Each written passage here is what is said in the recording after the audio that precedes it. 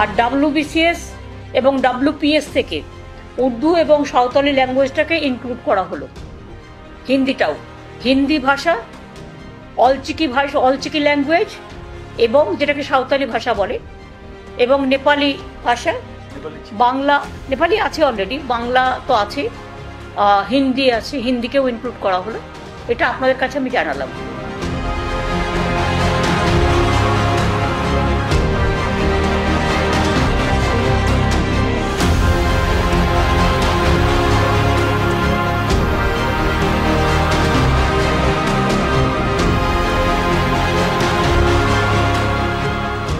আজকে বাঙালি জাতির জীবনে একটা অত্যন্ত কালো ঘটনা, একটা কালো অধ্যায়। সেই নিয়ে সাংবাদিক সম্মেলন, ফলে প্রতিটি বাঙালির এই বিষয়ে জাগরুক হওয়া, সংগঠিত হওয়া, প্রতিবাদ করা এবং এই কালো অধ্যায়কে বাংলার জনজীবন থেকে, বাঙালির জনজীবন থেকে নির্মূল করা, তার জন্য এই সাংবাদিক সম্মেলন মূল ঘটনা।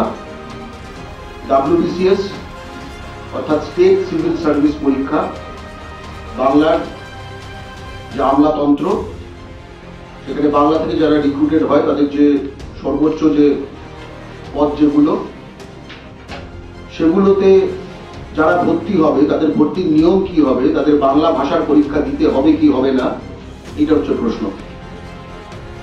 প্রথমেই বলে রাখতে চাই যে ভারতে বাংলা ছাড়া প্রতিটি রাজ্যে প্রতিটি রাজ্যে, আমার বলতে একজন বাঙালি হিসেবে লজ্জা লাগছে যে বাংলা ছাড়া প্রতিটি রাজ্যে সেখানকার রাজ্য ভাষার লিখিত ডেসক্রিপটিভ পরীক্ষা দেওয়া বাধ্যতামূলক। গুজরাটে গুজরাটি লিখিত পেপার দেওয়া বাধ্যতামূলক। মহারাষ্ট্রে মারাঠির লিখিত পেপার দেওয়া বাধ্যতামূলক। পাঞ্জাবে পাঞ্জাবি লিখিত পেপার দেওয়া বাধ্যতামূলক। ইউপি বিহারে হিন্দি পেপার দেওয়া বাধ্যতামূলক উড়িষ্যায় উড়িয়া পেপার দেওয়া বাধ্যতামূলক, কর্ণাটকে কন্নড় পেপার দেওয়া বাধ্যতামূলক, কেরলে মালয়ালম পেপার দেওয়া বাধ্যতামূলক, তামিলনাড়ুতে তামিল পেপার দেওয়া বাধ্যতামূলক, অন্ধ্রপ্রদেশ, তেলেঙ্গানায় তেলুগু পেপার দেওয়া বাধ্যতামূলক, ইত্যাদি ইত্যাদি ইত্যাদি। কিন্তু বাংলায় বাধ্যতামূলক ছিল না। বাংলা পক্ষ দীর্ঘ পাঁচ বছরের আন্দোলনের ফলে বাংলার ভূমিপুত্রদের দিকে মুখ চেয়ে, যখন আমরা দেখছিলাম যে বহিরাগতরা বাংলা না জেনে বাংলার মাটিতে ডাব্লিউবিসিএস হয়ে যাচ্ছে। এই লজ্জার অধ্যায় আমাদের দিনের পর দিন দেখতে হচ্ছে এবং তাদের মাইনে আমাদের যোগাতে হচ্ছে এবং তারা হিন্দিতে বলো, এই করে যাচ্ছে আমাদের বিডিও অফিসগুলোতে।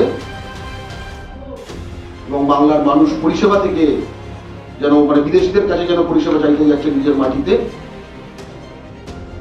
সেই অবস্থায় আমরা দুবার লড়াই চালাই দীর্ঘ পাঁচ বছর ধরে। যার ফলে, প্রত্যক্ষভাবে যার ফলে বাংলা বাধ্যতামূলক একটি গেজেটের মাধ্যমে ঘোষিত হয়। এটি ছিল স্বাধীনতা পরবর্তী সময় এক অর্থে বাঙালি জাতির প্রথম জয়, যেখানে বহিরাগতদের কাছে আত্মসমর্পণ করতে থাকা একের পর এক সরকারের নানা সময় নানা সিদ্ধান্তের উল্টো মোচর প্রথমবার। কিন্তু আমরা হয়তো বহিরাগত চক্র যারা রয়েছে, হিন্দি উর্দু সাম্রাজ্যবাদী স্বার্থ গোষ্ঠী যারা রয়েছে, বাংলার রাজনৈতিক জীবনে এবং তার অভিমুখ নির্ধারণ করতে তাদের কি ভয়ঙ্কর কুপ্রভাব, এটা আমরা আজ করতে পারিনি বাঙালির কাছে প্রকাশ হয়ে গেছে। বাংলার মুখ্যমন্ত্রী সাংবাদিক সম্মেলনে নবান্ন থেকে ঘোষণা করেছেন যে বাংলা আরেকজন নেপালি এবং বাকি বাংলা যেটা ছিল, তার সঙ্গে হিন্দি, উর্দু, এই দুটো যোগ করা হলো। অর্থাৎ পূর্বর্তন অবস্থায় ফেরত ফেরত যা- যাওয়া হয়ে গেল। বাংলা আর বাধ্যতামূলক থাকল না। বাংলা পক্ষ তীব্রভাবে ধিক্কার জানায়। তীব্রভাবে ধিক্কার জানায় বাংলা পক্ষ এটা। বাংলার ভূমিপুত্রদের সাথে, বাংলা ও বাঙালির সাথে প্রতারণার সামিল মনে করে।